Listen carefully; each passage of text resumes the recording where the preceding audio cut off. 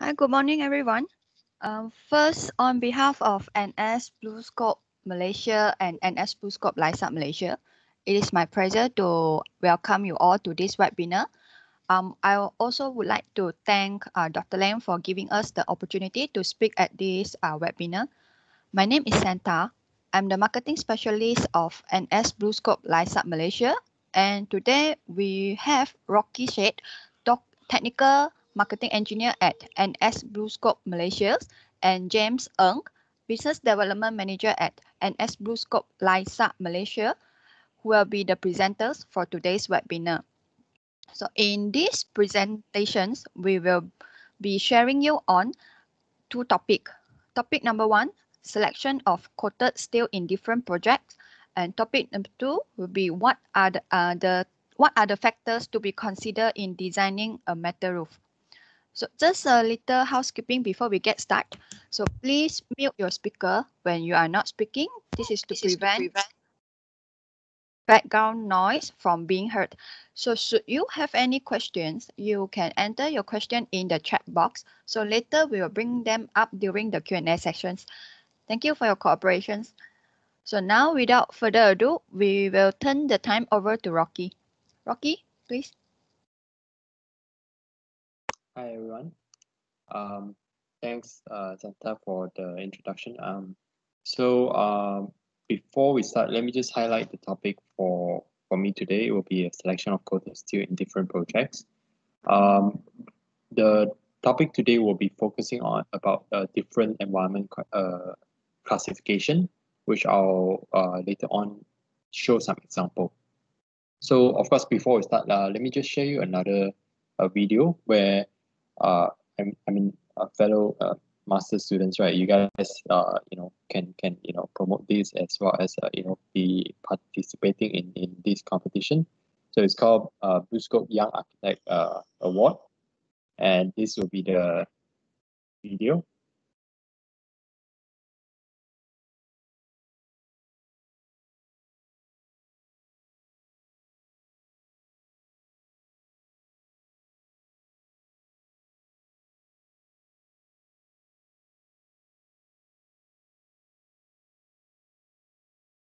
Yeah, so it's a short video to to introduce you. Uh, you know, BlueScope, we are actually hosting this uh, Young Architect Award, where uh, we are actually uh, you know, uh, allowing all the students to actually submit their design, and uh, you know, participate in this uh, you know, competition. So if you're interested, uh, feel free to go to our website and you know, um, look at the criteria and also how you can actually uh, be part of this uh, competition.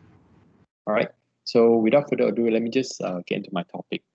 So uh, we know that you know Malaysia, you know we are segregated, you know, in, into two different islands, and uh, of course we have Peninsula as well as uh, you know the Borneo side, and um, this location itself is very you know quite quite uh, common in terms of the climate and, and quite consistent in terms of you know it's being a tropical climate, and uh, most of the time you uh, you know have rained throughout the year. Um, based on statistics, it shows that you know 80% of the days uh, throughout one year is actually a rainy day. And uh, because of that, uh, it actually is uh, very conducive for a lot of metals as, well as steel to start corroding because of uh, the, the you know existence of moisture, as well as you know very you know a strong uh, what do you call it, climate cycle. So um, aside from that, also because we are, you know, a, a basically a coastal uh, country where we'll have, uh, you know, part of it being a rural inland uh, area, and uh, most part of it will be uh, near the marine as well as, uh, you know, a large, a small portion of it will be the industrial area. So all these three areas will have different level of influence on building, and especially on your external cladding. So of course, uh, today's topic will will be uh, focusing more on uh, cladding as well as uh, you know steel. So um, typically, if let's say you see a building that looks like this, uh, you know, or even some other building components that look like this, where you have uh, you know small signs of corrosion, right? Not just happening on cladding, but also on other steel components like you know brackets or even a shutter door. So all these components itself uh, is actually you know uh, showing sign of rusting because of all these prevalent uh, natural uh, fact like you know rain uh, like you know seawater as well as industrial emissions. So um, with that you know uh, there's a, a way to actually uh, there was a, a standard developed to actually um, identify how corrosive is the environment right so um, that's why you know i mean with all this sea and industrial you know we need to know what makes the world corrosive so uh, today's topic i'll just bring you through briefly on these four four points. Of course i'll keep it brief because you know it's a saturday and uh you know i would like to keep it simple. So um of course the first one is called iso 9223 which is uh established standard internationally to evaluate how corrosive is a location or an environment. So uh, later I'll bring you through briefly. Okay. And aside from that also, um, I'll talk about, you know, accelerated weathering tests. Uh, how does it differ from sample exposure tests? And lastly, uh, what's the importance of project case studies? Okay. So on to the first point, uh, ISO 9223. So this document itself is quite comprehensive. Uh, but I would just like to condense it down to uh, the intention or the scope of these standards. So as you can see from here, top right corner, the scope of this international standards is actually to establish uh, you know, a classification system for the corrosivity of atmospheric uh, environment, where you know the the there will be different criteria to to you know differentiate or um, how corrosive is an environment. So I just condense it to three points. So the first point is time of wetness and temperature and humidity complexity. Okay. So what this means is that, you know, if let's say uh, uh, a location just like Malaysia is a tropical location, has a lot of rain and uh, constantly throughout the year is, you know, high temperature environment. Then this kind of environment is very conducive for uh, metals to rust much more faster or corrode much more faster compared to uh, a lot of other regions because of the time of wetness. Uh, another point where it will influence the corros uh, corrosivity of a, a, location would also be the type of atmosphere. So uh, over here we are talking about you know whether the building is near the sea or whether it is far far inland.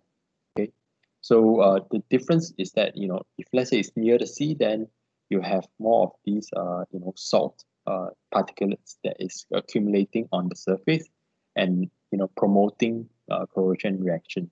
So this will also affect the corrosivity of a, location. The third one will be the pollution level. So this will be more related to uh, the industrial area. All right. So different industries uh, can emit different levels of industrial emit uh, uh, pollutants and of course uh you know uh, being a developing countries uh, there are a lot of things that are not uh, being regulated or not regulated well enough. So you still have a large uh, amount of the industry still emitting all these corrosive or pollutants uh, you know, to the surroundings. So this will be all the things that we'll be covering. So with all that being considered into you know the factor then we can actually uh, tell whether the environment is uh, very corrosive, which is CX or C5 in this case, uh, you know, under these standards, or it is like far inland away from all this corrosivity, which is like C1 or C2, right? So, uh, but generally for Malaysia, I would say, you know, we are located, you know, central, uh, I mean, near the sea and all that, and industrial, then will be normally classified C3 or even C4 near the near the sea. Right. So um, and these are all the pollutants that you actually uh, you know need to consider before you actually can classify the environment as uh, C2 or C3 or C4, right? So uh, the, the, the prominent one would be uh, sulfur dioxide, right, which is typically emitted from all these uh, you know oil and gas uh, industries or even uh, certain plants right that runs on uh, gasoline or diesel so all these would uh, these these kind of processes will actually emit a lot of sulfur dioxide, and uh, it, which in turn uh, would actually cause uh, what we call acid rain. So it depends on the the amount of sulfur dioxide emitted from uh, one industry and collectively in a location to determine whether the location itself is uh, more of an industrial area or more of an urban area or rural area, right? So uh, among others will also be nit nitrogen dioxide, which also is emitted by uh, traffic. So uh, linked to gasoline and all that. And the third one would be, uh, most prominent one would be uh, chloride uh, ion. Chloride ion is basically, uh, you know, mostly uh, related to, say, for example, ocean, right? Sea con condition, uh, sea salt, uh, sea, uh, seawater condition, or even sometimes like uh, nowadays we have a lot of glove industries. Those uh, locations would actually emit a lot of chloride ions, which could actually severely, de- uh, you know, deteriorate the, the building itself. But again, uh, as you can see from here, there are a lot of chemicals uh, that are being covered, but uh, realistically or practically, you know, uh, we cannot really measure uh, how much of these pollutants are being uh, exposed to in, in one location because of lack of resources as well as uh, you know lack of the, the you know expertise uh, locally to do so right? So that's why you know this is a least realistic way of uh, classifying the, the environment in different locations.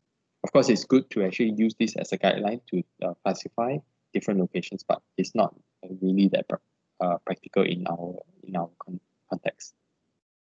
So that's why uh, you know a lot of people uh, especially industries or manufacturers would turn to accelerated weathering tests develop their uh, products right? So uh, one or, or to show the products can last in certain environment. So one of those uh, uh, tests would be called accelerated weathering test. So accelerated accelerated weathering tests uh, can be actually uh, done in-house or say inside the the lab right? Uh, and it can be testing on different aspects of the product like salt spray test QUV which tests for the paint durability uh, Kesternich uh, SO2 I mean uh, sulfur dioxide test which tests for acid rain uh, you know durability and uh, say Cleveland humidity test, which tests for whether the product can last in certain humid environment. All right, so uh, all these uh, tests, right, it has one thing in common. It will actually put the sample or the product inside the chamber, right? Typically, it's a chamber, and uh, it will simulate so-called uh, the, the natural environment as close as possible to to actually accelerate the the weathering or the, the deterioration of the product. So this in, in turn will actually show you uh, how durable is the material in uh, you know actual weather. But this is uh, not the most reliable way because uh, as based on our experience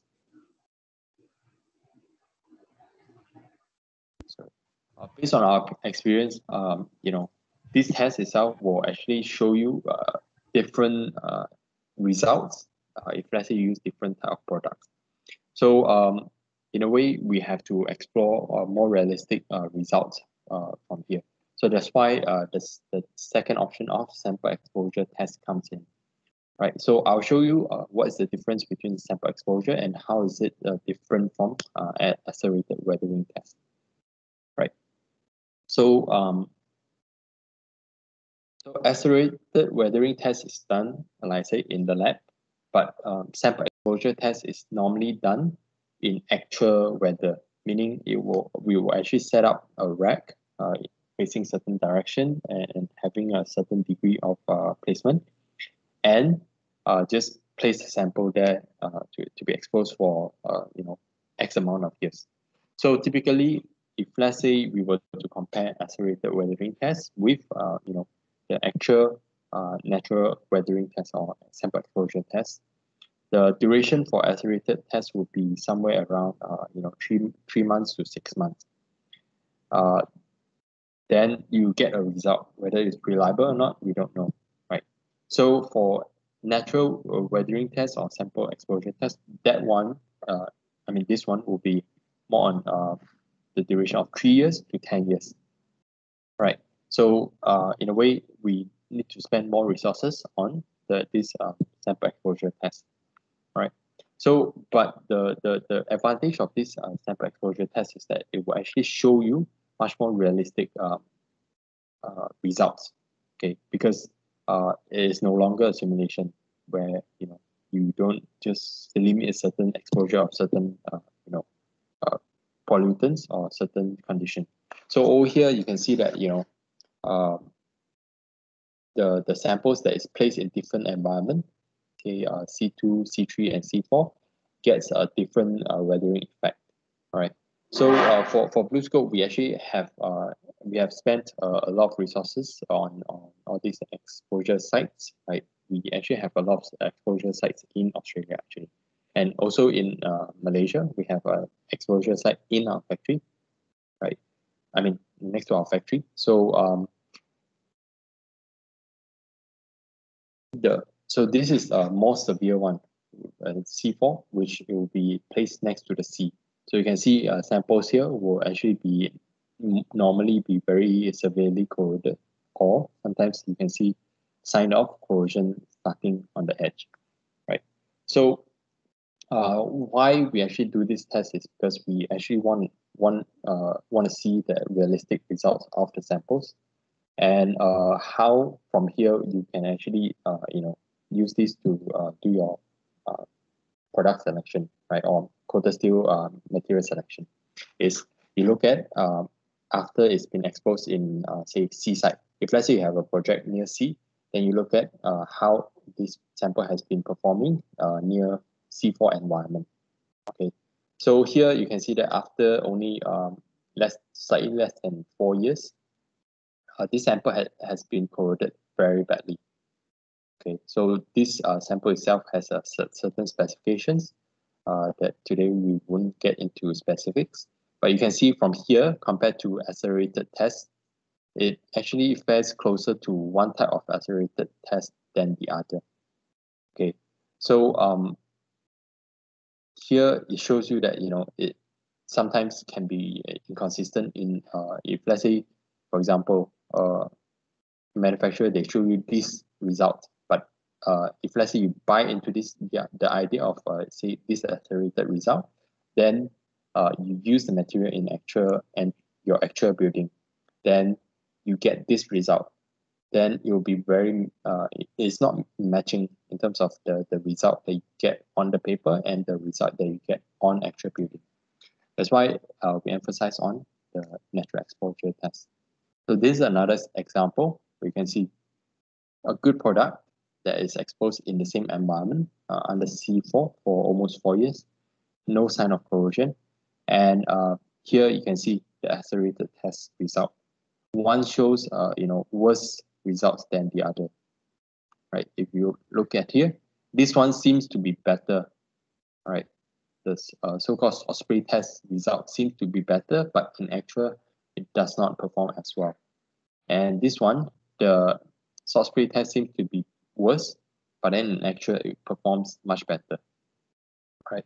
So that is the downfall of accelerated tests or accelerated weathering tests, where the test result itself might not necessarily uh, represent the actual performance, which is the crucial one that you need to know, right? So um, that's why you know the reason why we, we started to do more of the accelerated tests is because of this. So one of the common uh, accelerated tests is called salt spray test, which is commonly used uh, still in Malaysia to uh, you know portray the you know weatherability of uh, you know a coated steel or of a metal. But uh, again, as you can see from here, it does not actually show the actual uh, result in real life. So as a result of that, you get uh, products that fail prematurely, even though on paper they promise you, you know, it can be X amount of years. And um, this can be very detrimental, not just to, you know, uh, the, the people who purchase this material, but also to, uh, you know, people who actually specify it. Because the reason why you specify is because you know it's going to be performing well but if let's say it doesn't then you are in jeopardy. You are the one in in the hot seat right? So uh, that's why you know we emphasize on a more realistic uh, way of judging what kind of coated steel to use. Right. But of course ultimately uh, we would actually go to the project case studies. So of course before this uh, let me just um, ask you these questions uh, where actually this is a polling question that we would like to you know get more answer from you guys as you know architects. So uh, do you think uh, you can differentiate between uh, you know pro- project reference and um, project case studies? So um, Santa yeah. So uh, I'm, I'm sure that on your screen uh, there's this uh, forms uh, that's uh, posted.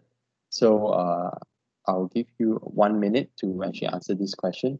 So can you differentiate between project reference and project case study?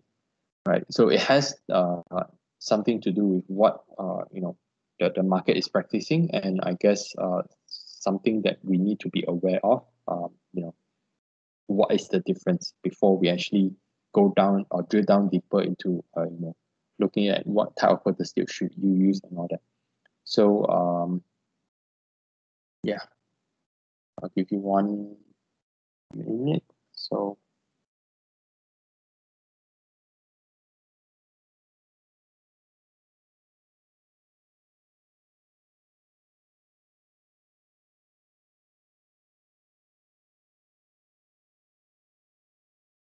So yeah I, I guess uh, most of you has uh, uh, a 50-50 understanding of uh, what is the difference between project reference and project case study. Okay, so uh, let me just move on. Okay, so let me just show you an example of reference or project reference. So what you can see here is project reference. Okay, it means um, once the project is completed, uh, when you hand over, right, this is where you take a photo, right? So this kind of photo is actually uh, I mean, it can be used uh, to show you that you know how good a workmanship the, the, the contractor is or even the installer is. But um, if let's say you were to ask yourself whether this can tell me whether the product can last long, uh, my answer is no, right? So most often in, in the industry, um, I think a lot of manufacturers would like to show you, okay, uh, this is these are the projects that I have completed, right? And, and I have delivered in terms of uh, you know my my product and so on.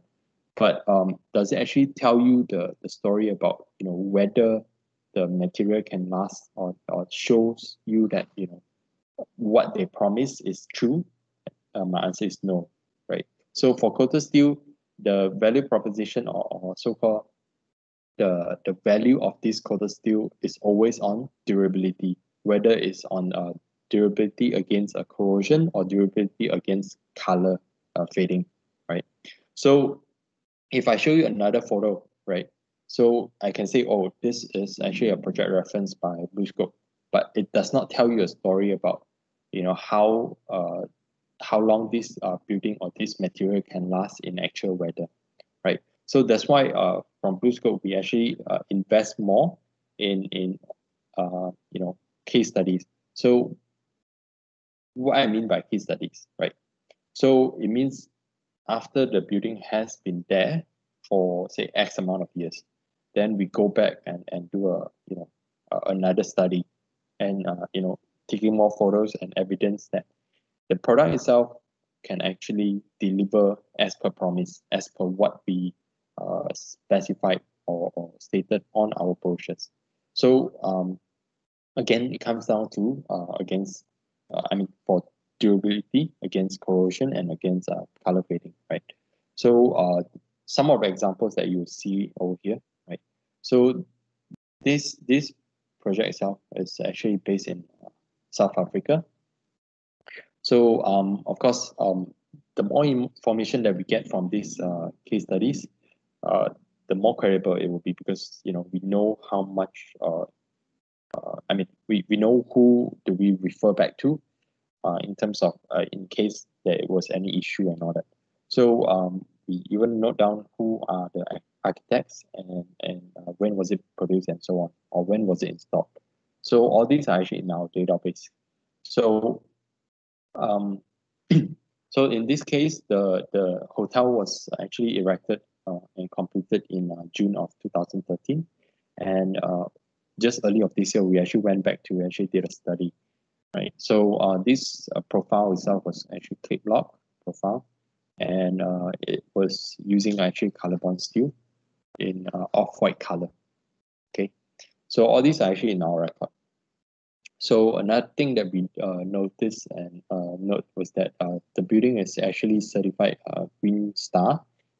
This is a green building certified by green building council in uh, south africa. So it's actually a highest uh, rated uh, green building hotel in south africa. So as you can see overall the the cladding itself is still in good condition. And one thing uh, I would note is that you know uh, normally in case studies we will actually bring an original color right color sample uh, to the site to compare it visually side by side how it fares uh, compared to the original color so you can see from this top uh, bottom right corner the original color versus the uh, actual uh, roof. So white color itself you know in south africa is quite common for roof. Uh, the reason why is because uh, they use it for to to reduce the roof temperature because they have you know quite large amount of sunlight exposed to the building so uh, you can see the color change uh, quite little. And um, fortunate enough we also have the original photo when it was just completed and we actually took another one. Once uh, you know I mean once the uh, building was completed we took one photo. And when we did the case study we took another one to show you a side by side visual. Right. So yeah it's quite straightforward. Also um, normally when we do case studies we don't just look at one aspect of the product meaning the performance but we also look at how it actually performs with other components. So um I think nowadays uh, you guys are more familiar with like say a solar panel arrays right? Like how to install it and so on. So um this actually was pushed by you know the government to actually have more solar panels installed onto the roof uh, to to have a net uh, energy neutral or more of the green energy right? So we actually see saw that trend and then we uh, actually uh, search for buildings uh, with uh, solar panels. So to to actually the the study was actually to to look at how the material can uh, perform well with uh, different types of solar panels array or systems and what are the things to note for so in this case uh, the hotel itself uh, had a solar pa- panel array. And um, the manager building manager uh, himself actually told us that you know they didn't actually maintain the the solar panels. So uh, what comes after you know the installation was that there was a lot of uh, you know what do they call excrement from say birds uh, around. They were flying around and, and settling on the roof so uh, as a result you get all this uh, accumulation of excrement right. So uh, this is uh, why we actually uh, would, would always highlight you know uh, what we call unwashed area for for you know um, building owner to take note. So in south africa fortunately all this bird excrement itself will not cause any harm. But for uh, say in malaysia if let's say you have all these excrement settling on your roof then uh, it will actually uh, you know start corroding the roof. Okay. So that's why it's very important for you to you know know all this. So we know all this by you know conducting the case studies. Okay. So another thing is um say vegetation. Because of all this dirt accumulation and all, all this excrement it brought up all this uh you know vegetation onto the gutter right? So some examples right? So so we do a lot of case studies. So this is another one where it was actually uh, placed next to uh, uh, quite quite a strong uh, sea breeze. So you can see it's actually within marine influence. Okay, so over here we actually compared side by side with another type of product. Uh, typically in market we call them PPGI. Okay, so uh, the building that we uh, inspected, uh, which was using our Colorbond steel, uh, was actually uh, aged eight and a half years over. So you can see overall there was no sign of corrosion. And we actually went next uh, to the building. There was another building. It was uh, supplied with uh, PPGI. Then you can see after five years, these are the sign of uh, corrosion and uh, end lapping corrosion that we saw. So here it shows you that you know uh, the the salt spray test that I showed you earlier, it might not be realistic to, to be a judging criteria. So the best way actually is to look at the case studies. Okay. So to be more in depth, so this is the building and yeah, close up. And this is another building uh, in Labuan. So it was also using uh, you know, uh, Ultra, Colorbond Ultra and uh, near the marine area.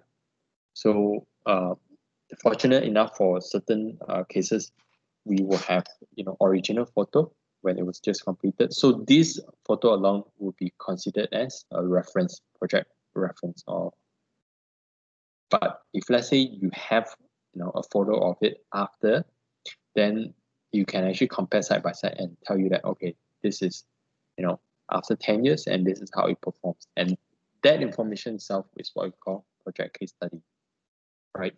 And um, that is what gives uh, you know the the credibility to the material okay or to the whatever product that uh, you know the manufacturer are selling okay? And of course uh, you know uh, the the case study list doesn't just cover buildings that are you know near near sea or near you know uh, uh, uh, an urban area but also in the industrial uh, area. So this uh, uh, absorber factory. So we did the case studies end of last year. So that point of time, the roof was there for over 22 years using Colorbond. So of course, over here straight away, we saw uh, by flying over the drone, you can see that there was actually uh, some kind of deposits, right? So uh, we actually uh, climb up to the roof and found out that the deposits itself is actually some sort of powder uh, emitted from the, the roof. Okay and it was not actually washed away easily by uh, rainwater because it was there for more than 20 years. So it was already accumulating quite quite a lot of the powder, right? But uh, away from the chimneys or from these all these uh, industrial uh, emission, we saw there was actually uh, quite a, a vast area where it was not really contaminated. But you can see, uh, you know, we actually brought an original sample right? And we compared to not just the this uh, general surface, but we compared to the crest of the profile as well as the web of the profile. So over here, what you can see is that you know the crest of the profile is normally uh, you know more weathered off, but uh, compared to the web of the profile, the web of the profile is still in, in good condition. But again, um, this is after 22 years. So you can imagine, you know, how the material can perform even beyond that. Right? So aside from just the color, but we also also we also look at the corrosion performance.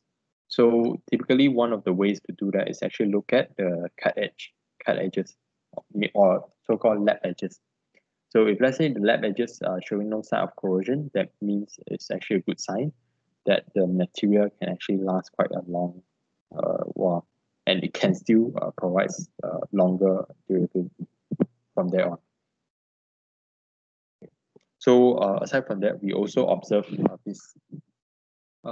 copper lightning arrestor or copper lightning uh, conductor. So um, these actually inform us that you know uh, the the effect of uh, what we call bimetallic corrosion between copper and steel or even copper and zinc and copper and aluminum uh, the fact that um, copper is uh, you know more noble in terms of the galvanic series uh, makes it you know uh, not corrode but it will actually induce steel to start. So this is uh, one of the finding and one of the proof that we can show always to tell the story that you know you should not use copper lightning conductor, but opt for something else like aluminum lightning conductor. So all in all, uh, the summary is that you know instead of uh, using the accelerated weathering test like salt spray, you should opt for sample exposure test, or even even better, you should opt for the project case studies. If let's say you want to evaluate whether a product of coated, coated steel is able to be supplied to uh, your types of project or your type of environment. So with that, um, I would like to conclude uh, my session and hand it over to James.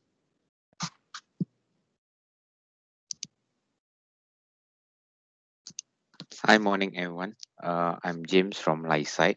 Uh, just hold on for a second.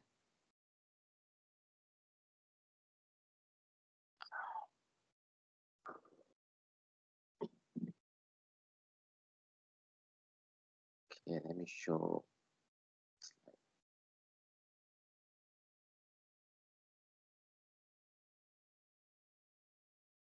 Uh, everyone can see?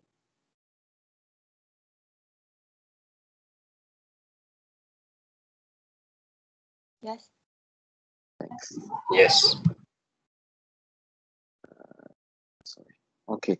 Uh, good morning, everyone. Uh, thank you for attending this uh this session. Okay, I'm sure most of you all actually heard about uh BlueScope Lysaght before. Okay. Uh, the reason why we actually uh conduct this session is actually to to let the designer know actually what is the design consideration, what you should actually take note when you design a metal roof or metal cladding. So basically, I think uh, Rocky have already explained all the detail, all the detail and all the uh, all the information that uh, Rocky need to highlight, especially on the material warranty and the coating. So my session will be more towards onto the detailing, how you furnish up uh, your detail at the at the window opening, door opening, uh, apron slab, and so on. So this is the agenda that I'm going to share. First of all, the roofing profile selection. Uh, you need to select uh, the profile. Okay. Then second of all is actually is the rainwater runoff because as you can see actually uh, metal roof there's a different height of it. So uh, rainwater discharge is very important in designing a metal roof system. So third one will be the gutter and downpipe sizing. Fourth will be sound and heat, expansion, contraction, uh, this also apply to all the building material, it expand and contract. Six is accessories, seven detailing, eight is specification and floor decking and good installation practice. Okay.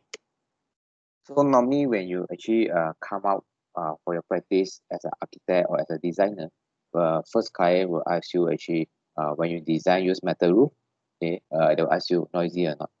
First question. Second question, whether it's hot or not. And third question will be uh, how long does it can last. So uh, these are the answer to your question. First, uh, noisy or not, it depends on the system that you use.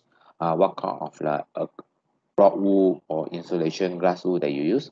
Second, the foil uh, and what kind of level of the uh, foil that you want, heat transmission. And third one basically will based on actually uh, uh, Rocky product, which is uh, either you use Colorbond, Ultra or uh, Spectrum, whatever product. Okay, so they actually will provide certain years of warranty. So to get a more detailed or more accurate warranty, uh, if you can, if you possible, you actually can email us the site plan so that Rocky will confirm a exact warranty or roughly a warranty to you that that that warranty that commit how many years. Okay. So in metal roofing selection of the profile, we have two type. One is the pierce fixing, one is the conceal fixing. Okay. So pierce fixing, you will see all the screw puncturing to the roof. Then conceal fixing, you will see all the all the clips only. Okay, all the clips onto the roof. Then this one will just clip it on. So you wouldn't see any uh, fastener on top. Okay, so there's two type of installation. For the roof, actually, normally we will install the screw onto the rib here, the head here. Okay, why? The reason is because this part for the roof, actually, they will collect water. So we don't install our fastener at this area. So normally we install onto the top just for the roof. For the wall cladding, normally uh, this profile can be used in wall cladding. So uh, for the wall cladding, we install onto the valley here. This one called valley. So why we install here is actually first uh, the screw doesn't need to use the longer screw. Second, actually this actually will direct screw to your subframe or structure or wall girt. Okay. So in metal roof also uh, uh we can done all kind of design. Okay, especially uh those uh soft grade steel mat uh, material. So we need to check your radius. That's the reason why most of our technical people will ask you what is your radius curvature, what, what uh, whether is it curve on plan or curve in elevation. So this is to determine that what kind of profile is suitable for your design. We are not like uh, just like uh, other other other other supplier which is uh, just give you a proposal for the for the purpose of selling it. We actually want you to know that when you use this product there's a reason why you use this product and why you use this profile and what is the function what is the advantage of this profile and what is disadvantage of this profile. Because every profile has uh, their own characteristic. Like each of person of us we have our own characteristic we have own our own attitude our own character so that's why it same goes to uh metal roof profile so they have their own characteristic some profile that cannot be curved some profile can be curved some profile can go down to uh, 0.42 or 0.40 thickness. Some profile cannot, it must be in 0.48 and 0.6 thickness. So that's actually the reason of it. Uh, as we go along, actually, uh, I will explain what is the characteristic that commonly each profile has. Okay. So like this example, this is the rainwater runoff. Uh, the reason why you need to know this data is because uh, the discharge of the water, okay, sorry. Klip-Lok Optima is the uh, is a cape system. Uh, we have the higher rib of uh, higher rib of the profile. Spandek is the second uh, second highest uh, Trimdek and followed by Trimdek. So basically you can see this is actually rainfall intensity. So normally in Malaysia normally we use 300 to 400 so for southern case we normally use 400 for northern case also we use 400 and Terengganu side also we use 400 so uh, this is to determine the drainage of the water. Okay? Why I say that is actually every metal that pan here there's actually a height. Okay? This pan here actually will collect the rainwater. So imagine your slope is 2 degree or 1 degree pitch. You slope very gentle uh, slope down to your gutter this water level will discharge to your gutter will be slow if you have a long length roof. Let's say you have 50 meter of roof for a factory so or 100 meter of roof for a factory. So this water will discharge uh, let's say two degree pitch will discharge the water very slow. So when very slow when it rains heavily so this water will accumulate fast. So when it accumulate fast this water actually where does it go? It will actually overflow to the side so when you overflow to the side so when this part will over the side you actually slope inside the building. So if you don't discharge the uh, water as soon as possible to the gutter. So basically I can say that metal roof is the drainage the small drain okay? Uh, gutter is the big drain. So the big drain will actually uh, collect more rainwater okay? So you need this small drain to drain out the water as soon as possible to the big drain which is your gutter. So the same goes to uh, Spandek this is the Spandek you can see the rib height is actually 24 mm and is very small. So water might slip through uh, to the side lapping okay? If you use the design like for example 3 degree pitch uh, uh, rainfall intensity is 300 mm per hour okay? So if you use uh, Klip-Lok you can go up to 115 uh, meter. Means from the reach from the top to the uh, gutter there you can use 150 meter so let's say imagine Spandek you can only use for 20 meter and for Trimdek about 45 meter only. So uh, as you go higher this rib okay this head here you go higher the better on the drainage. So basically uh for long length we always suggest to use either Klip-Lok or zip deck. Later I show you one of one of the profile okay? So selection profile is very important. So for example like if you select uh Trimdek sometimes uh your design is about uh 100 meter length of roof so definitely for Trimdek uh, you cannot use in 2 degree pitch so normally what we do is even to go 100 okay you can go higher higher pitch which is 75 meter uh, length of roof, you need to go up to 10 degree pitch. So let's say if you 100 meter long of roof, is the best choice. You still need to choose Klip-Lok Optima as a profile selection. So on top of that, we will actually uh, guide you all to uh, to estimate what is the girth size of your gutter. So why you need to know this information is actually uh, when you know the girth size of your gutter, uh, the height of your gutter, everything, you know how to detail uh, on the fascia part. Fascia part that means the edge here. Uh, we are sorry. Oh, fascia part that means this edge. Okay, this part edge. So when you have imagine you sloping this side, so you have gutter here, you need to detail this height of the this height of the edge. How you detail. This will determine by your concealed gutter what is the height. Okay. So and go back to the slide. Sorry. Okay. So this is one of information. So the width of your gutter also uh, will based on this spreadsheet, you will determine what's the width. So whether it will actually affect your trusses or your steel structure member or not, or you actually clash with your steel structure member. So on top of that, we will provide the number of downpipe, what is the sizes, so that you know uh, what is the size of the column uh, to design so that you can encase your downpipe into your column instead of uh, putting side by side. You will make your, I mean, your aesthetic wise look ugly. Some some designer don't like to put downpipe just right beside our column. They want to put encase it into column. So when they need to encase it, they need to know what is the column size, whether 200 by 200 or 400 by 400 or circular size, let's say uh, 500 diameter. So this is the information. So let's say imagine your downpipe is 200 mm diameter. Of course, your your circular column you need to go for maybe 400 diameter instead of going to 200. So if you put 200, you just put uh just right sizes, then you don't have a tolerance mm to actually to uh to put uh to give the maintenance guy to maintain your downpipe. So you need certain uh, allowance for your column to let the maintenance guy to uh, either hack it a little bit or open a little bit to to maintain your uh downpipe. Let's say your downpipe is choked up. Okay, so that's the reason why we provide this uh downpipe sizes. Okay, so basically in uh the design wise, uh people will ask me one question: which one is actually have a very high risk? So if you have a butterfly roof, what I say is butterfly roof is two sides slope to the one gutter, which is the concealed gutter. This kind of uh, design is called butterfly roof.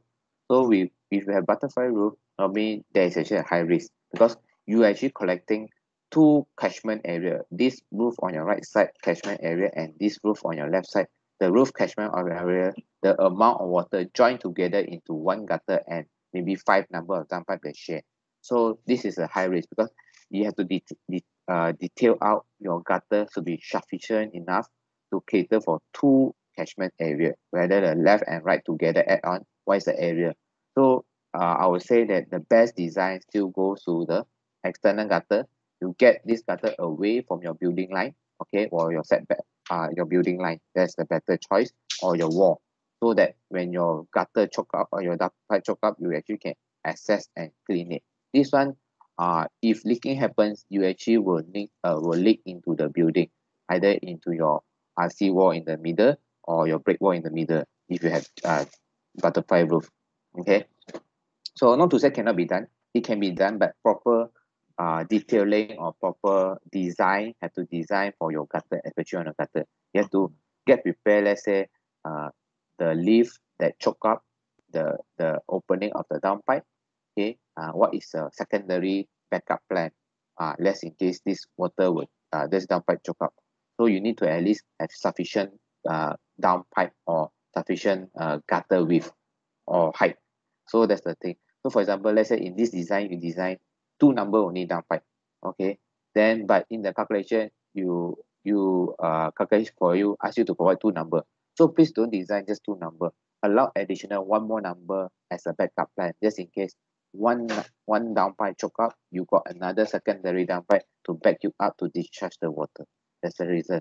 So normally uh, we'll put one number extra up, uh, when we design a calculation. Let's say, for example, uh, this roof area here total, I need three number. So I will let you know that actually you need four number downpipe. if you don't want to have four number number you say hey james cannot uh my down pipe i don't have sufficient column to cater for my down pipe and i don't want to allocate additional column fine fine is uh is fine with me but the only thing is you need increase of your diameter down pipe let's say uh we propose to you three number of down pipe then suddenly you say uh, uh we propose to you three number down pipe and in the calculation then we add on another additional for backup plan. For number you say don't want because too much uh, column you need to create you will actually block your aesthetic view and everything. So it's fine for me but the only thing is we will ask you to increase your down pipe diameter instead of 100 100 mm or change to 150 mm that's the reason okay? So that's why uh we we uh, will uh, let you know this kind of information okay so the most important for for uh metal roof is actually nowadays actually uh, the wind quite uh high speed and actually we we worry on the wind force okay? So that's the reason why uh uh why we actually use uh use actually uh this information data. So we have a core we have our own lab in australia uh nata test lab okay? Uh that test actually each of our profile. So uh i think in malaysia uh only Lysaght have this lab. Because uh this lab actually is accredited by department standard malaysia. Some of them uh some of other people say that oh wind uplift is not important. Malaysia very safe because malaysia uh, don't have typhoon okay? Uh don't have this kind of uh, uh natural disaster or uh effect. So uh please don't assume that okay? A lot of people say that uh sabah don't have earthquake. Suddenly now they have earthquake. So our climate has changed so we cannot predict what is the uh, uh what is the future climate change or whether uh future what is the disaster will come. So that's why uh please get prepared of this information first before uh in your design. So reinforce is impo- important. You can see a lot of in Valley even though in Klang Valley a lot of roof has been blown off. This one on your right side here is actually at Putrajaya. Putrajaya just uh, about I think about eight years back they just blown off this roof. First of all uh, of course you can put uh put the responsible to the contractor and say that they did it very badly okay? But as a designer or as an architect uh, I think we carry out a responsibility. Even though uh, manufacturer we also carry out the responsibility. That's why some of our salesperson or our technical person will ask you uh install your roof already or not? Do you need uh inspection? Do you need uh our site here to come and inspect the quality of the uh, workmanship so we offer these kind of uh services. So please uh please do accept this kind of services and say that hey yes come along and, and inspect for us. In the meantime you you learn something from there also. So if the uh, if the quality is bad okay you know how to rectify it. You know how to issue your AI uh, architect instruction to instruct the contractor to redo certain things. So we came across uh a lot of designer that take it uh uh they take lightly they say that ah never mind it's it's just a just a roof. Malaysia will not blow uh will will not have a so high wind speed like vietnam have typhoon and or thailand or other other country. But yes i don't deny malaysia uh, has the lowest wind speed level. But uh, anything can happen. So that's why uh, this is very important just to highlight on that. So uh, we also as a manufacturer we also keep on upgrading our knowledge keep on upgrading our testing. Let's say for example uh, we have certain profile we test on 35 meter per second wind speed. So now we actually increase our lab our lab test to 45 meter per second to 50 meter per second. See whether our metal roof can sustain the wind speed that we assume or we uh we predict. Okay? So this is the case. You can see the clip here all actually show off. Okay? So this is a cinema roof. So cinema roof when the wind blow off okay blown the roof away then you you actually will need to stop your activity below which is like cinema you need to close down for a moment then we need to continue back. So this is the case happened in malaysia. And another factory also this is in johor okay? So as you can see here uh, some of the contractors skip the clips. They thought uh, the clip is uh, not so important they can skip one number then they reduce the thickness of the metal deck. So uh, this is another issue. So uh, we are lucky uh, in Lysaght or I mean we have this information we have this technology so uh, that's why Department of Standard Malaysia recognize this technology under NATA test so this is our lab test based on the span 900,000 this is one of our profile uh, our highest profile for zip deck 65 mm height. Okay, we send for lab test. Uh, we send not only in Australia. Okay, some profile we done in Australia, uh, because originally from Australia. Some profile we done in Singapore. We call PIC. Okay, and PIC is actually is accredited. Is actually is recognized by NATA also. So the only thing is actually uh, uh, one is done in Singapore, one is done in Australia. So basically, this is how the test. So a lot of people ask me, how do you do the wind uplift test? Okay. So basically, the uplift test is actually based on this halter or this clip. Okay. So we push the airbag, something like an airbag. Okay. We put at the bottom. We put the wind, uh, wind speed criteria or the KPA criteria from the bottom to the top. So we push, push, push until the maximum when this this clip okay uh detached from this uh this roofing detached from the clip, then we call it as a failure already. So even though uh one clip we call it fail. That's why you can see unclipping, okay, fail mode. So you will see that okay, this one based on double span, okay, 900 and 100 spacing, that means the structure span here 900, then 900, okay, uh, center to center 900, and you can see the the failure is 1.71 kPa, it fails already. Okay, so anything below than 1.75 is still safe condition. This is based on wind speed uh 40 meter per second. Okay, so when you can see uh as you go uh further and further, okay, uh like this one, 1.5 spacing, okay, even lower. Okay, because if you go the structure if the structure goes spacing further apart, the strength of mounting up uh the the halter the clip to the roofing sheet is lesser. So that's why you actually weak weaken up your profile. So that's the reason okay? So the spacing you put uh is uh nearer to each other the better. So because I say for example this one this purlin and the other purlin is uh 900 or 600 of course 600 will be much more better than the 900 spacing. So this is what I mean okay? So we have this lab to actually test this profile we have this technology okay? That's why uh some uh, designer they still prefer to Lysaght even though uh, Lysaght uh, we can say that we keep on upgrading. Uh, what we can give you is actually the information is always updated. Later I'll share with you some of the information really update. I'm sure during your uh, I mean part two session when you when you uh, when you learn everything you actually you uh you will actually uh learn about Revit so uh so learn about Revit so so when you learn about Revit, we also actually keep on upgrading. We have this Revit software. Okay, so this is the data for other profile like Block. You can see 1.2 spacing, 1.5 spacing. As you go higher and higher, okay, the the pull out the pull out strength KPA getting smaller and smaller, smaller and smaller. Okay. So on top of that, we'll give you uh we'll give you the uh the sorry the acoustic performance. We have a software. So in your architecture design or your design uh, criteria every room that you design you have actually a acoustic performance like cinema roof or uh or office or auditorium hall. So we have actually certain dB requirement. So in your design let's say for example you need uh auditorium hall you are designing. You need a library. You need 40 dB requirement okay? So for the roof roughly you need to know how much dB that need to cut off to get your 40 so basically uh layman calculation outside ambient noise is about 75 to 85 dB so you use 85 minus 40 so that is the balance of your dB that you need to cut off STC and cut off. So basically depends on your uh room requirement dB so this is the software that we have okay? We help you to calculate what is the STC value. This is the double roof system okay? Even the wall cladding also we are able to do that okay? So this is the new uh, regulation which is the MS 1525 standard. So this is new regulation that set by Malaysia.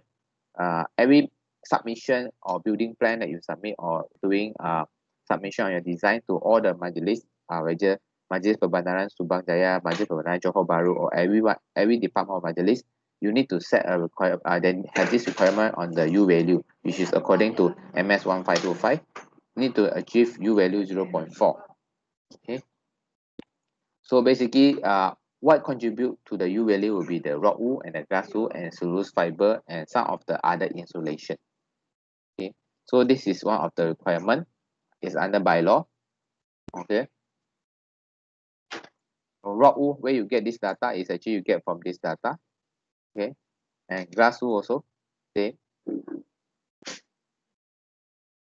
So after that, we actually uh, guide you or give you a, a spreadsheet calculation that we can achieve u value 0.3 with this this this type build up from item number two to item number number seven okay so okay come to expansion and contraction uh sorry a bit noisy here uh come to expansion and contraction basically uh eliminate the highest still is the second highest. So basically uh the every building material we expand contract. Why this one important is actually metal roof metal roof actually uh, expand and contract to the left and corner okay? Uh what i mean is actually from the ridge to the east okay? The the expand is actually they pull each other from top and bottom okay? So the reason why this is important because uh there's a temperature change okay when you daytime uh around like i would say 1 or 2 p.m okay the metal roof degree can go up to 80 degree 80 degree.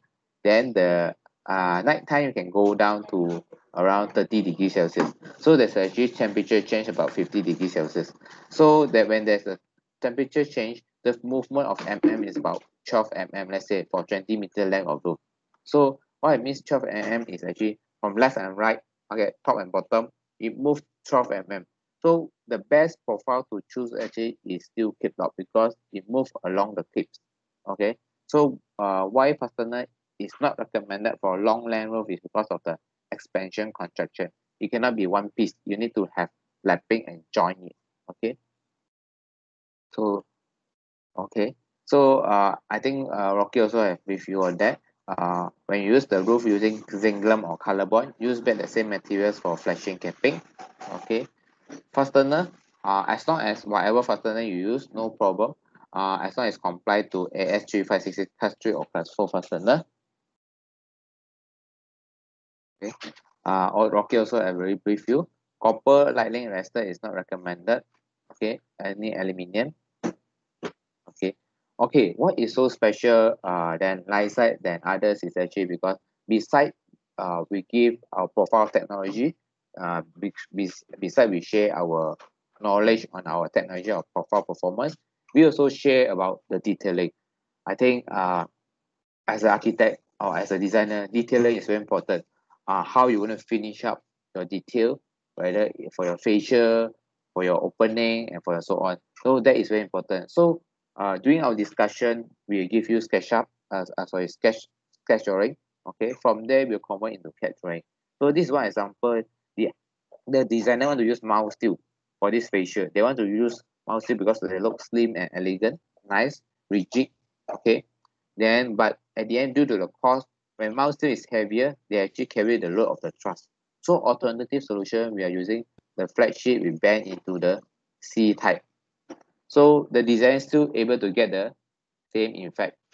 Okay instead of using mouse because of cantilever about one meter out so the engineer doesn't allow to use mouse steel because when you use mouse steel you need you carry this load you need more member in your truss or structure member to support this outside mouse steel so we change to the flashing capping the normal flashing capping we bend into a C and we still able to get the same effect. So in other way I can say that we give solution we are solution provider. We give solution like for example uh QSA increase the truss uh the cost will be uh, raised up. Uh the engineer say that you need to increase the truss member because you have no choice to hold the uh, the structure support mouse steel at bottom. So the other solution is we give solution is using uh the flat sheet and we bend it. Then is all party happy QS able to save cost engineer able to perform back uh, the truss design as as the normal design. The third one is the designer also happy solve his aesthetic problem. Okay? That is the thing that we actually we not only dealing with one person we deal with the whole project management team. So basically the uh on contractor part we help the contractor to save cost also and developer side. So uh all party benefit everything. So basically uh we actually one stop solution do think about one stop solution instead of uh just the price only. Because some people may come uh, come with just a price. Yes you can have uh, cheaper material. This one I can use uh, a lot of cheaper other material but they're unable to solve out the detailing on this information. So we actually have our engineer team also advise whether uh, we can solve the truss problem also. Okay? So for example the uh, the designer or architect they don't want to use the uh don't want to see the gutter so they want to put a bull nose here. So like this kind of bull nose a lot of other manufacturer or other people will say that hey I don't think so I can do that. So yes based on the normal flashing flashing capping the the flat sheet cannot bend like that cannot bend one shot because the radius is too small because you're using uh very tense uh steel grade which is G55 G550 steel grade so it's a bit difficult to bend like this. So we give another solution. For example we ask the designer can I cemented the flashing like that? One line one line. You will see definitely you will see one line one line but from far end you will see a curve. bull nose can you accept that or not? So when the designer say can then because from far end from the bottom they cannot see much on the roof having this line. So they want to have a feature of curving only. So we're able to curve the radius the smaller radius that they want. Okay? So this is a thing so another solution is also like for example like just now I mentioned. So uh this from this height to the bottom height the fascia is too big. So when you go for long length okay you will see waviness so we check with the designer can I recess a little bit and do this kind of flashing for you or not? Then the designer say no problem as long as I want to uh look neat and tidy flat. So we we will provide another detailing on that also. So basically um like I say detailing is very important because uh when you come out to the market and you come out to uh uh uh work as a designer most of contractors say can can can. But at the end come to a solution part there at the end say oh I cannot be done. I need to add in additional cost to use a higher grade material. So something you actually can be done. It's just that uh they want to have a easy way out. So uh they never seek for advice. They just say I want to have easy way out you pay me the money I can solve this problem. Yeah. So sometimes uh as a designer we need to find more information. We keep on need to update our detailing our finishing part so that uh we able provide the solution to you okay?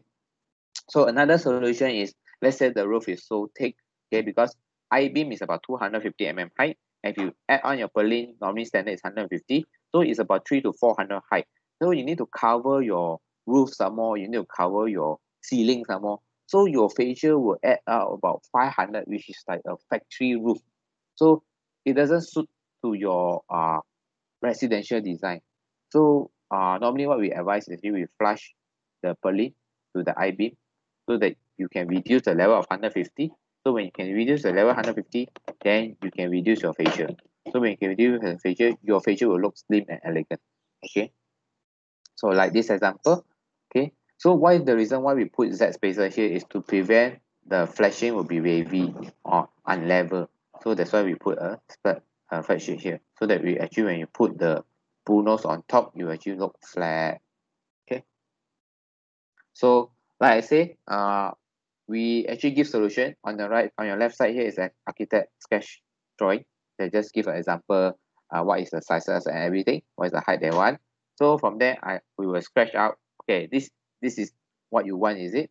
So uh then we ask our our I mean drafter uh or our Revit team people to draw the 3D perspective uh to you. And you have a rough uh, estimate know that how's the feature looks like. Okay. So another sketch uh drawing we will sketch out. So the uh, uh like they say I need to have a skylight detail here. Okay. So we provide a sketch up. okay. This is the uh 3D view then the roof sloping this side and sloping this side. So after we provide 3D view we will highlight to them. The most tedious part is water will bang into this skylight because this skylight normally is upstand so how you detail all this part?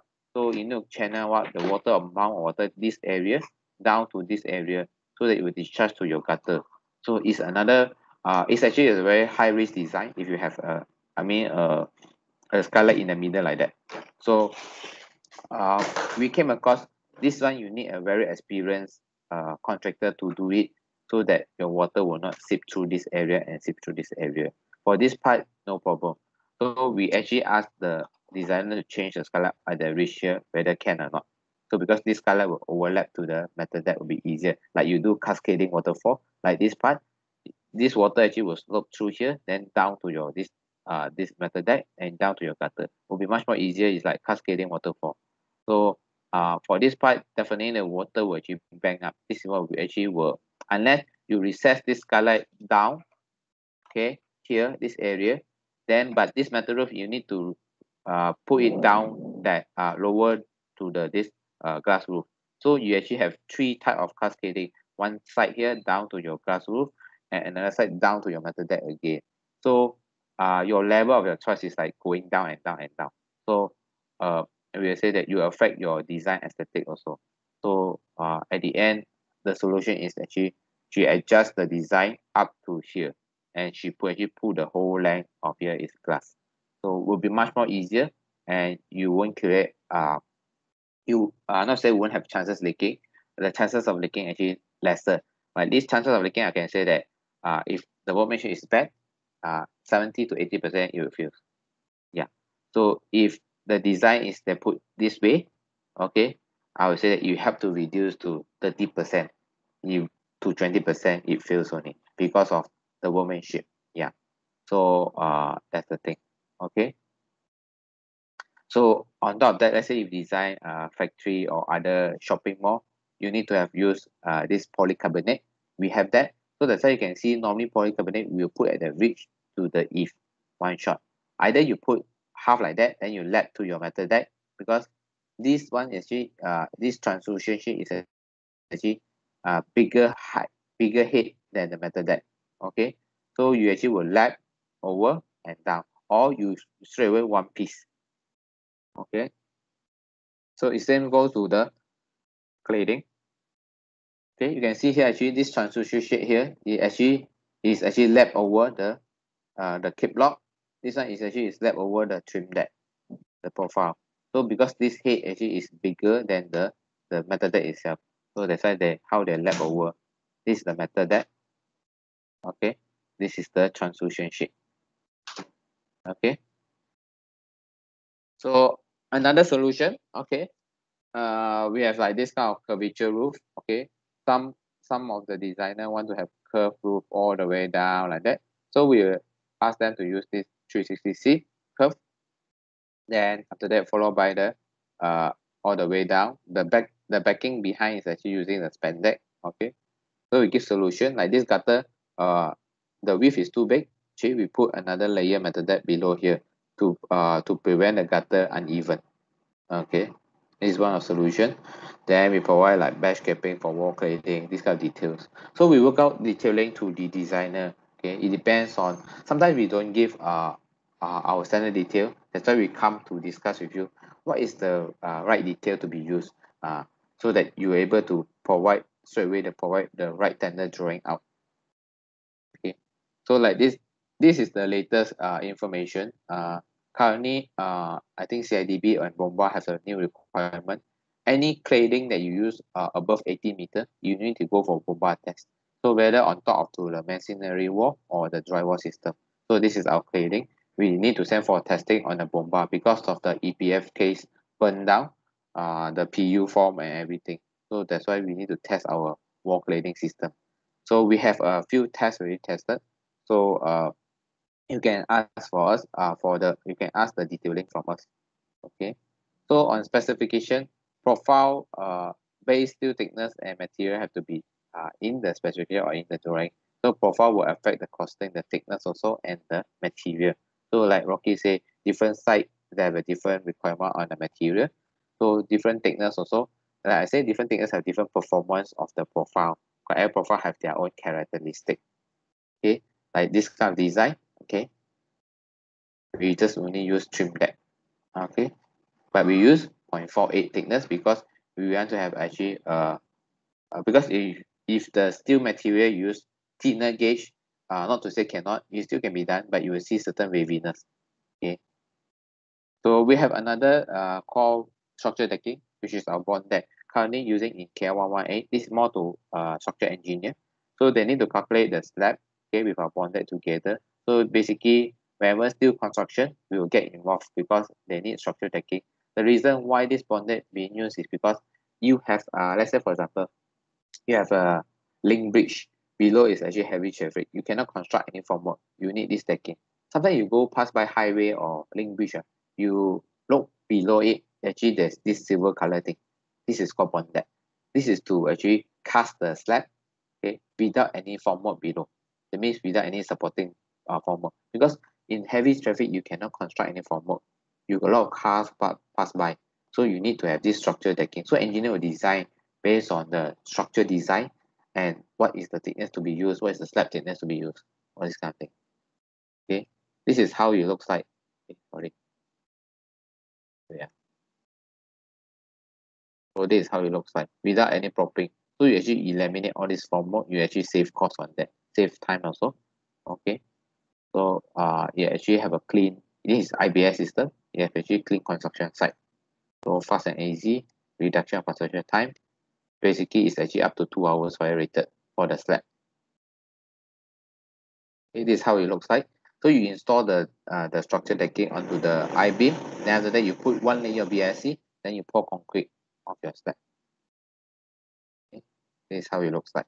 So let's say if the this is one layer of BRC so let's say if the slab loading is too heavy uh, like for example like car park area then uh, you need to put additional BRC on top good installation practice. For screw type we recommended the fastener to be fastened to be like that. That is the correct way. Of course every contractor we cannot uh, control their workmanship because why? Some is our own obligator our own contractor some is not. So as long as they comply this kind of standard roughly this standard and don't want to overdriven this uh this screw then will be fine. Okay? So like I say uh the flashing capping here we actually cut into the template of the metal deck then we bend it down. That's the detailing. Okay. Right this is the form filler. This is to prevent the wind actually let's say you slope this side towards you uh to prevent the wind actually blow over and seep through the water seep through. If you have two degree pitch or one degree pitch of design normally. And this one form filler here it comes one set. It actually uh to prevent the bird actually entering to the building like example okay. So uh the first protection will be the flashing. You bend down cut into the template that just now.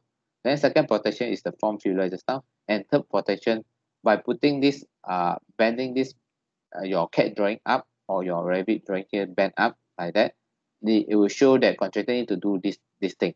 So that water will not seep through to the this area here. Okay. So these are the few case study. Like I say uh, we can do uh, wonders of design okay? Curve on plan this is at Malacca uh, Hans Academy. So this is the underliner that install first then followed by the top skin. So we can do curve on plan curve in elevation depends on what profile to be used. So let's say of uh, let's say this kind of design we normally will use the premium product because you need to achieve this kind of aesthetic or this kind of view that you want okay eh, sorry. So like see you can see this kind of design. Okay this is the original picture. Okay. So you can see here actually this design taper everything we use standing seam. So we cannot use the normal Klip-Lok. So that's why by showing us your design okay uh, we able to give you a solution. Okay. Uh, some people say that oh you want cheap you use Klip-Lok. Then you will see a lot of flashing capping joining around. Okay. You cannot see one piece so nice like that so we provide the drawing for the contractor. Uh, what kind of radius to be cut and so on. Okay like this one. How we cut. Okay what's the radius? Okay provide detailing also. At the wall there and the eave there how we detail out. Okay. What to put. Okay this is the CAD drawing. This one is the sketch drawing. So basically uh, we provide two. Okay we have a standard drawing uh, we have a, a sketch drawing and we have a CAD drawing. So basically we will we'll go with standard first. Normally we'll give you the standard drawing. So when you put it then we think that actually your design need more detail on that. Then we go for sketch. Then after that we discuss on sketch. After we discuss on sketch we'll come up with the I would say that uh construction drawing for you or the tender drawing for you so that uh the contractor will not miss out any item to code we put uh I mean we also give 3D perspective. Okay. So this is also one of the cladding that we use. So we use it for wall cladding. Okay, one of our profile British panel. Okay. Like I say, how we going to detail out at the apron slab, the bluers opening, window opening. So these are detail. This is uh, section from the plan view. Okay. This is internal cladding. This is external cladding. So how we detail out every school and everything. We work with a lot of supplier like DML, Hunter Douglas, others to actually work out the detail together. So for example, this one we are using Hunter Douglas uh, louvres. Yeah. So like corner capping, how we going to cap out. Okay. So uh, at the bottom of the rewards here, how we're going to finish up. Uh, sorry here. Yeah. This part. Okay. So at the C here, the C, the section FF here. Okay, how we're going to finish up the detail. The roof part, the EE. So this is the cladding. Oh, sorry. So this is the cladding. Then we cap it. Then here is the roof. Our roof is the gutter. Okay. So now we're actually moving uh, the IT technology. We have our own Revit object now. So uh, you doesn't need to create any uh, object. We have our own uh, every profile of our object you can actually get from us anytime. So we have our own object as each for the profile. So uh, we are moving towards a uh, few more steps uh, beyond that. Uh, we actually going for system object. That means we are going for acoustic performance proof system. What is the layer inside? What is the build-up system inside? So as we go uh, more and more, we'll come up with uh, uh, BIM 360 also. Okay, so you can download our object from our website here anytime. Okay, so basically I would say that uh, said, actually moving uh, forward, we actually uh, moving forward with CIDB uh, with this Revit team. Okay, and uh, we always upgrade our profile. Like I say, uh, the wind uplift testing, we already upgrade to 40 meter per second, 45 meter per second, and now we are trying to go into uh, 50 meter per second because we are doing regional. We actually uh, cater for Vietnam country also and other country also. Okay, so that's the end my presentation. Any question?